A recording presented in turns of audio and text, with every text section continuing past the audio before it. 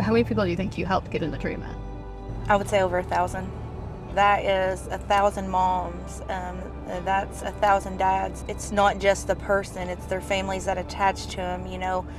I supervise the Central Kentucky liaison team, so we get to meet people within the court system. So we get to go tour other treatment facilities, and I get to walk alongside them and help them build partnerships and relationships within the communities.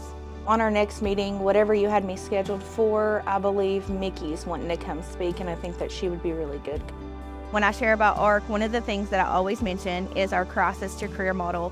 One of the greatest things about that is I can say at the end of whatever I'm telling them, I started in a crisis, I went through treatment, and now I have a career. I remember whenever I was in active addiction and going into treatment, really scary. So having someone there that you can call, having someone there to walk beside of you, to hold your hand, that that's game changing in recovery. And um, just having someone to count on, and that's what the liaisons get to do. So let me connect you to the person that actually works in that area and is involved in that court system. One of my favorite things to do is get to see somebody enter treatment and then revisit that same facility in about a week and you get to see that that little light come in on their eyes. They're there and they're laughing. They become eager and they become excited for recovery.